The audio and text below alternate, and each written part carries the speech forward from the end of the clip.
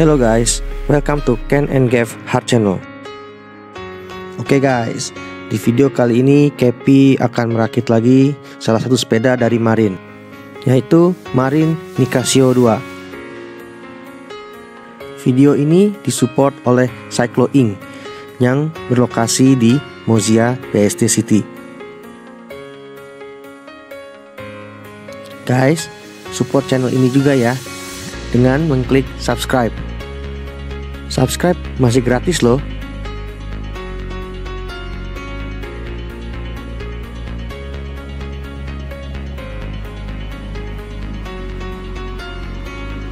Perlu diketahui guys, Marini Casio 2 ini dibanderol dengan harga dua kali lipat dari Marini Casio 1.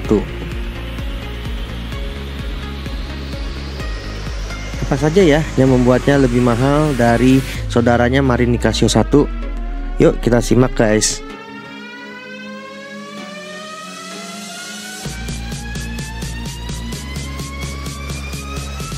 Guys Ini penampakan Marini Casio 2 Wih warnanya sih keren bener guys.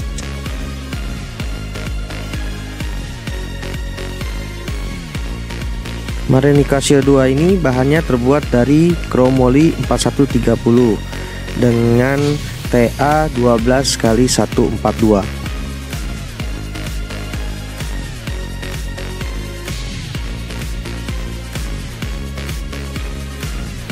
Forknya terbuat dari bahan full karbon dengan TA 12 kali 100 mm.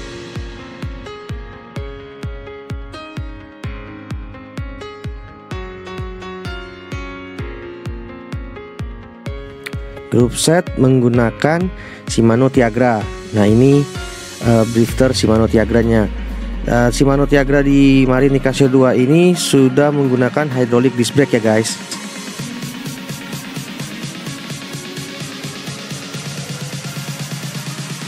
Crankset menggunakan FSA Omega Mega Exo dengan chainring 50 34T guys.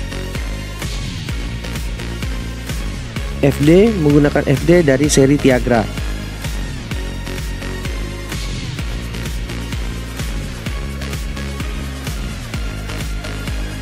RD juga dari seri Tiagra guys.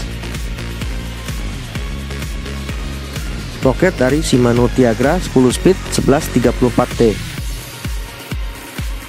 Wheelset menggunakan alloy wheelset double wall dari Marine. Ban menggunakan WTB Riddler 700 kali 37C.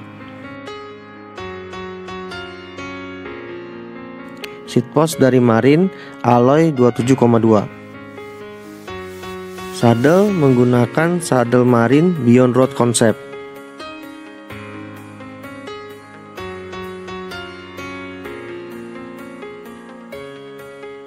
Stem menggunakan stem Marine 3D dengan bahan dari alloy. Drop bar menggunakan Marine Alloy Compact Drop Bar dengan 12 derajat flat drop.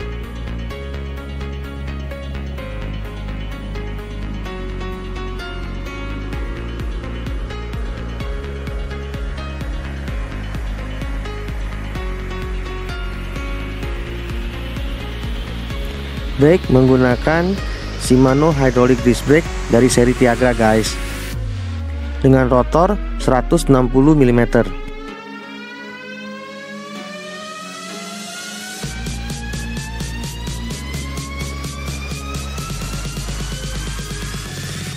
dan belakang juga menggunakan Tiagra Hydraulic Disc Brake dengan rotor 160 mm Perbedaan harga dari Marini Casio 1 dan Marini Casio 2 ini ya terletak di grup setnya guys Marini Casio 1 masih menggunakan grup set Claris 8 speed guys.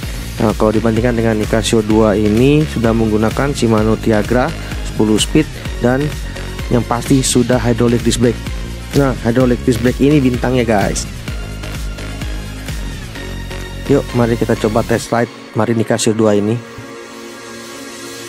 Untuk keperluan test ride Kevin mengganti wheelset dengan wheelset ukuran 650B dan tire WTB Horizon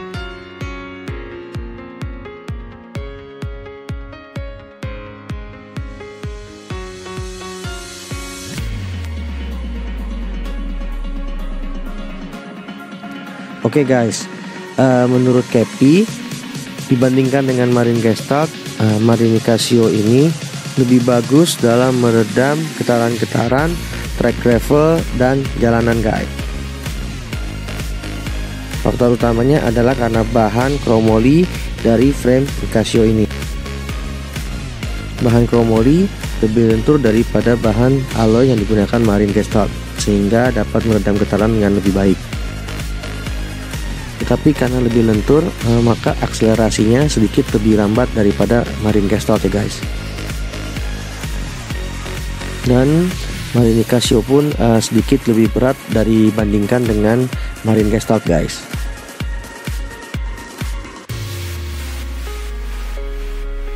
Dan yang pasti kelebihan Marine Casio 2 ini adalah hydraulic disc brake-nya guys.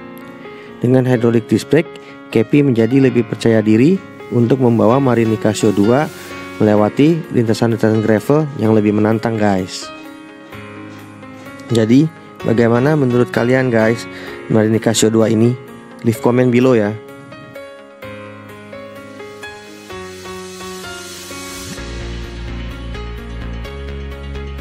Terima kasih Psycho Inc. Guys, don't forget to subscribe.